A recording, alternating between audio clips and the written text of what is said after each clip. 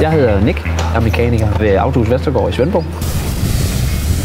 Jamen, i dag skal vi aflevere to nye øh, lastbiler til Michaels Maskinstation. Jeg er meget imponeret over, så flot som den blev i hvert fald øh, forvognen. Den kan jeg rigtig godt lide. Så det bliver, det bliver lidt spændende at se, hvad de siger til dem.